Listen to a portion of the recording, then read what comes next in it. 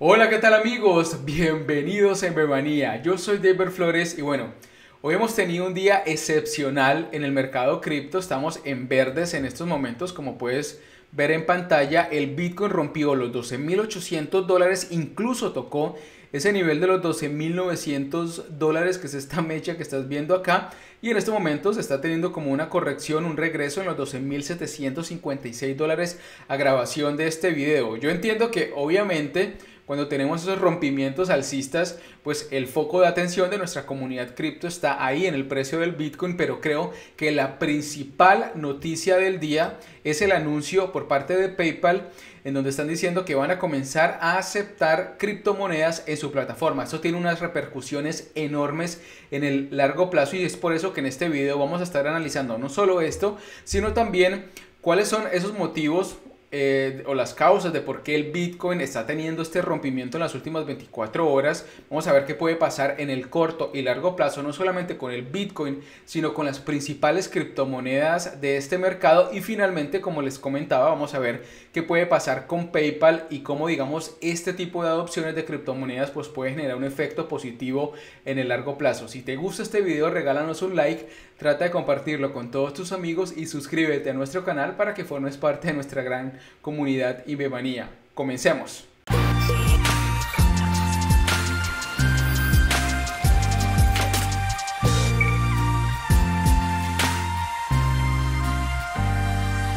Este video es con el patrocinio de Prime XBT. Prime XBT es una de las plataformas más seguras y populares en estos momentos para hacer trading con Bitcoin y criptomonedas. Entonces básicamente lo que haces es depositar Bitcoin y puedes operar diferentes eh, criptomonedas como Ethereum, Litecoin, Ripple, pero también puedes incluso operar otros mercados como divisas, commodities, índices bursátiles. Esto me ha parecido muy interesante porque prácticamente en una sola plataforma pues puedes operar diferentes mercados. Pero creo que la opción más interesante o atractiva que tiene Prime XBT es esta de Covesting donde puedes copiar otros traders. Entonces puedes copiar obviamente la estrategia y puedes aquí ver la rentabilidad que ellos están teniendo en su totalidad, pero también durante el día y este es el número de días activados digamos, o activos que están operando ellos hasta la fecha. Entonces esto obviamente sirve mucho para las personas que están comenzando a hacer trading o que no están seguras de sus estrategias. Si están interesados, en la descripción de este video van a encontrar mi enlace de referidos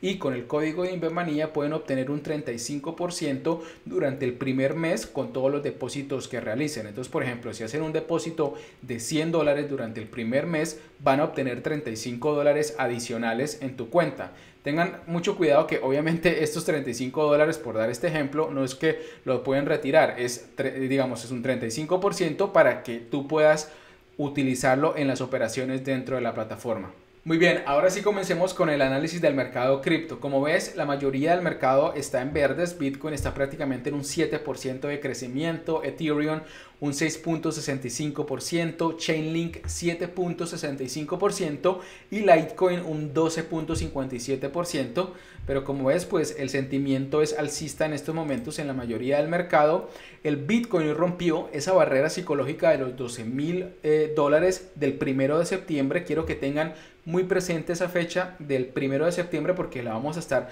comparando con otras eh, criptomonedas y también rompió este nivel que tuvimos en agosto de los 12 1.500 dólares aproximadamente que le generó ese impulso a este nivel de los 12.900 y bueno, ya en este momento nos encontramos acá prácticamente eh, fluctuando en los 12.800 dólares. Aspectos positivos de este crecimiento, bueno, lo que hay que decir primero en el mediano plazo es el crecimiento, la recuperación que ha tenido el Bitcoin desde marzo eh, de este año. Ha crecido un 231% y si lo comparamos con otros mercados, acciones, índices, commodities. La verdad es que el Bitcoin es el que mejor comportamiento o recuperación ha tenido. Es decir, desde marzo, que es ese nivel más bajo que tuvieron todos los mercados a nivel mundial, pues el Bitcoin ha tenido una recuperación de más de 200%. Eso de por sí ya es una noticia récord y es lo que nos muestra, digamos,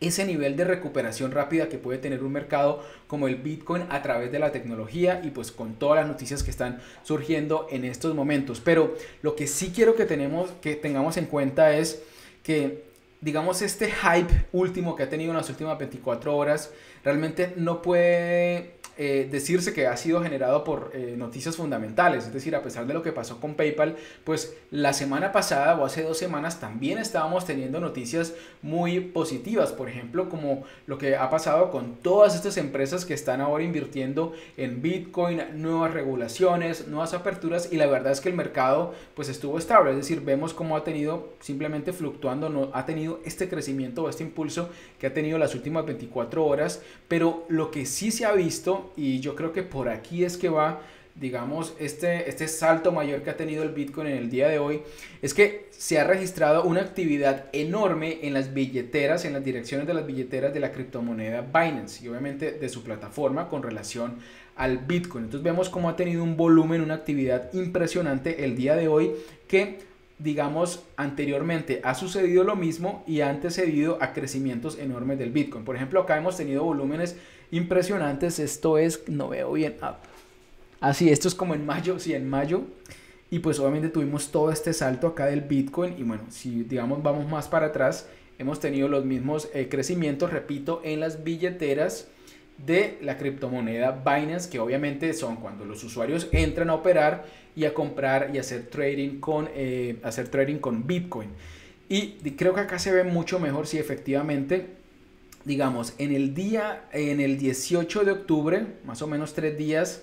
eh, atrás, tuvimos todo este volumen impresionante, prácticamente récord, en las billeteras activas de Binance, de la criptomoneda, y posteriormente, es decir, el día de hoy, dos, tres días antes, es cuando hemos tenido todo este salto. Y como ves, en anteriores ocasiones también lo mismo. Se ha registrado todo este volumen y posteriormente, dos, tres días después, se dan esos saltos en el Bitcoin. Entonces, ¿qué nos quiere decir esto? Que sí, bueno, el Bitcoin obviamente en el mediano plazo ha tenido una senda alcista, pero paulatina, orgánica, normal. Pero este salto último que ha tenido se obedece a todo este influjo de traders que están obviamente operando y pues generando compras en la plataforma de Binance o por lo menos a través de las billeteras de Binance Coin y es lo que ha generado como ese hype mayor o ese impulso en el día de hoy. Esto es muy importante tenerlo en cuenta por lo siguiente, porque a pesar del crecimiento que ha tenido, debemos ser muy conscientes que el Bitcoin no, perdón, que si lo comparamos con eh, Ethereum, que es ¿Se acuerdan ese indicador que les he estado comentando eh, dos eh, videos atrás? en donde les comentaba que Ethereum nos muestra mucho lo que puede pasar con el Bitcoin eh, días posteriores. Y si comparamos obviamente Bitcoin, por ejemplo, ese primero de septiembre que les mencionaba, donde sí efectivamente ya rompimos este nivel de resistencia acá del primero de septiembre, con Ethereum no ha pasado lo mismo. Acá es el primero de septiembre, como ves, en los más o menos en los 500 dólares y todavía falta mucho para romper acá. Entonces prácticamente no están en estos momentos como en la misma sintonía de rompimiento. Digamos que la noticia positiva es que sí rompió este nivel de resistencia inmediato del 17 de septiembre más o menos en los 400 dólares, pero todavía falta romper este para que estén prácticamente en la misma correlación, en la misma sintonía. Por eso es que yo todavía no me como mucho el cuento que ya estamos como en esa tendencia alcista y que ya vamos, no sé, al nivel de los 20 mil dólares por lo menos en el mediano largo plazo, porque hasta que no haya como ese clic, como ese engranaje, con Ethereum y por ejemplo también con eh, Ripple, que es otra de esas monedas que también tienen mucho un comportamiento similar de lo que va pasando con el Bitcoin, pues también, por ejemplo, el primero de septiembre todavía no hemos roto esa resistencia inmediata. Entonces, es muy importante que tengas como referencia tanto Ethereum como Ripple lo que pasa, más allá de lo que está pasando con el Bitcoin cuando quieras obviamente entrar, cuando quieras comprar, para ya establecer o tener como un, una, un mejor momentum de entrada y de esta manera pues aprovechar de una mejor manera los posibles saltos que tenga el Bitcoin. Y a propósito de Ripple, pues lo que digamos también me gustaría compartirles es que si lo vemos con relación al Bitcoin, pues en estos momentos se está como repitiendo este mismo patrón que hemos tenido anteriormente, es decir, desde el 2000 2016 hasta el 2017, aproximadamente 500 días, tuvimos donde pues estuvo rangueando, pero más como en una tendencia bajista. En estos momentos, digamos, desde el 2019 hasta la fecha, estamos prácticamente en lo mismo y pues básicamente podría continuar todavía un descenso. Por eso es que todavía pienso que todas estas criptomonedas pues todavía les falta un poquito más de consolidación para realmente tener esos saltos por lo menos más rápidos que el Bitcoin, ya que pues obviamente cuando tenga digamos, por ejemplo, acá los 500 días y que tenga un mayor descenso, es cuando efectivamente puede tener acá estos saltos que ha tenido. Entonces, ¿cuál es mi recomendación acá? Seguir analizando lo que puede pasar con Ripple, pero cuando tenga este rompimiento acá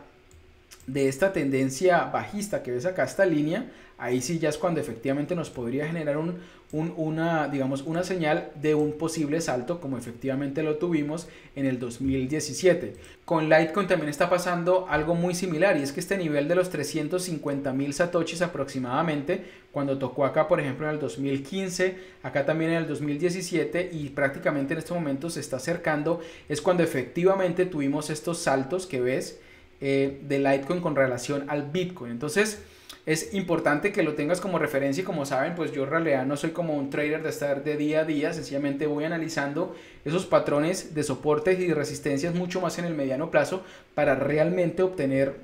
crecimientos eh, mayores a sencillamente lo que pasa intradía. Ahora,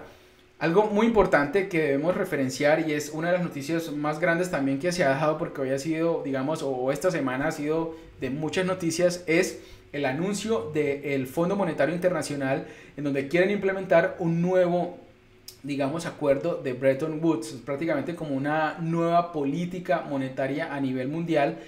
Este video o este análisis realmente requiere de mucho más eh, tiempo y por eso estoy pensando el próximo viernes hacer un análisis de las consecuencias de lo que es este nuevo acuerdo que se está tratando de negociar a nivel mundial, por qué es que se está dando, obviamente bajo el amparo de toda esta recesión y toda esta crisis económica a nivel mundial, pero qué consecuencias puede tener para el Bitcoin o para obviamente la economía diaria de todos nosotros. Entonces no se lo pierdan porque realmente va a estar muy interesante. Pero lo que quería también obviamente analizar hoy desde los fundamentales es que luego que estuvimos viendo que todas estas, cripto, estas empresas perdón, están invirtiendo en Bitcoin, pues en el día de hoy también eh, se hizo el anuncio que una empresa inglesa, que está obviamente también incluso cotizando en la bolsa de Londres, está diciendo que está o anunció que está comprando el 10%, va a poner el 10% de todo su portafolio en cash en esas reservas que tienen ellos en efectivo ahora en Bitcoin. Y lo hacen porque pues ven como una estrategia para proteger sus inversionistas, pero sobre todo, y esto es lo que me pareció mucho más interesante, y es que están viendo como en el Reino Unido pues están en estos momentos en, unos, en, esos, eh, en esas tasas de interés prácticamente negativas a 0.1% y obviamente necesitan diversificar eh, esos instrumentos en el mercado del dinero para pues de esta manera generar algún tipo de retorno. Y esto es muy importante porque pues esto es una empresa que es como de fintech, ¿no? Como de estas empresas de tecnología financiera, entonces claramente están viendo que en el largo plazo o le están dando como un parte de confianza al Bitcoin en donde dicen, bueno, ya basta este tema de, eh, del dinero eh, cash o sencillamente tener todo en la, en la moneda de nuestro país, todo nuestro capital y hay que empezar a diversificar con activos mucho más modernos como es el Bitcoin y obviamente cuando ven este tipo de crecimientos pues dicen ahí es donde tenemos que ponerlo y por eso están prácticamente pasando 10% de todo su capital en efectivo ahora en Bitcoin. Pero la noticia más importante como les comentaba es que PayPal una de las plataformas más grandes a nivel mundial de pagos, está anunciando que va a comenzar a aceptar criptomonedas. PayPal, para dar una idea, tiene 346 millones de cuentas activas a nivel mundial y 26 eh, millones de negocios que utilizan su plataforma. Entonces ahí ya ustedes están viendo eh, la puerta o el mercado que se le abre al Bitcoin y las criptomonedas. Pero lo interesante también de todo esto es que ellos van a estar eh, no solamente aceptando Bitcoin, como les decía, sino también, o por lo menos al comienzo, Bitcoin Cash, Ethereum y Litecoin. Y cada vez más pues van a estar abriendo todo esto. Y esto tiene que ver con lo que vamos a estar precisamente analizando con el Fondo Monetario a nivel... Eh, a, nivel de, de monedas digitales y de cómo todos estos pagos ya van a comenzar a unirse. Es como eso, ese intento que tuvo Facebook con la plataforma Libra, parece que se va a comenzar a, realizar, pero de otro modo a través de estas plataformas de pago y de lo que quiere también implementar el Fondo Monetario Internacional. Por eso es que va a estar muy interesante ese video. Entonces, esto digamos como, como parte de, confianza que le dan a las criptomonedas, pero también las consecuencias que, que puede tener incluso al punto que pues ha sido tan optimista esto que, realizó que tuvo un crecimiento, apenas PayPal hizo este anuncio, como ves por ejemplo en el día de hoy tuvo un crecimiento de casi un 7% en su acción, entonces claramente los inversionistas de PayPal están viendo que este tipo de adopciones de criptomonedas pueden ser positivas para su plataforma, entonces por todo lado se ve como el optimismo o la confianza eh, ya cada vez más que están teniendo las criptomonedas en todo el mercado eh, bursátil, pues en este caso. Y me quiero despedir con el siguiente análisis. Claro, Bitcoin está creciendo impresionante, la confianza que le están dando todas esas inversiones de esas empresas que aquí hemos referenciado, pero a la, criptomoneda que hay que ponerle en realidad la lupa en estos momentos es Ethereum por lo siguiente, y es que si lo vemos en términos de volumen de transacciones, pues su crecimiento ha sido impresionante. Este año se espera que llegue a la cifra de un trillón de dólares por transacciones, y pues como ves ha crecido mucho más que Bitcoin, que por lo menos hasta la fecha lleva 800 mil millones de dólares en, en transacciones. Entonces, la puerta que se le está abriendo a Bitcoin, eh, eh, perdón, a Ethereum con relación a Bitcoin, pues es, es impresionante y por eso me parece que una referencia que también hay que, hay que tener en cuenta es ese comportamiento que puede tener Ethereum con relación a Bitcoin en, los próximos días. Y es que como ves, pues puede tener, digamos, mayores niveles de correcciones, pero al menos, digamos, que llegara a este nivel de resistencia anterior que ha tenido, que luego se puede convertir efectivamente en un nuevo soporte y de crecer, digamos, al menos a este nivel anterior récord que ha tenido. Acá, digamos que tuvo el, el 12 eh, de junio del 2017 crecería un 442%. Entonces, la rentabilidad que podría generar una inversión de, Bit, de Ethereum con relación a, Bitcoin, pues es impresionante. Entonces, esto desde los fundamentales. Por eso es que hay que empezar a mirar todo este tipo de inversiones y, y digamos, los soportes que pueden ir teniendo con relación a los fundamentales y empezar desde el análisis técnico, ver esos rebotes o los mejores momentos de entrada para ahí sí aprovechar esos crecimientos que van teniendo. Muy bien amigos, esto es todo lo que tenía para compartirles en este video. Espero como siempre que haya sido de mucha utilidad y que les haya servido como para ver qué ha pasado con el Bitcoin, por qué está creciendo de esta manera y si digamos pueden existir correcciones en los próximos días, pues sería normal precisamente porque tiene que ver con esta jugada o estos movimientos que les he dicho que están sucediendo desde la plataforma de Binance, pero que desde los fundamentales en el mediano y largo plazo la verdad es que el comportamiento de Bitcoin es excepcional, así que no hay para alarmarse. Pero pues me gustaría saber, antes de despedirme, qué piensan ustedes de todo este análisis, cómo están viendo el Bitcoin, qué estrategias están implementando, cómo vieron este anuncio eh, de la plataforma PayPal, la ven positiva, la ven negativa, creen que puede ser mayor nivel de control, en fin, ahí estaré esperando todos los comentarios, preguntas o dudas en este video o en nuestro grupo público de Telegram, arroba comunidad Invemanía. Muchísimas gracias por tu atención y nos vemos en el próximo video. Chao.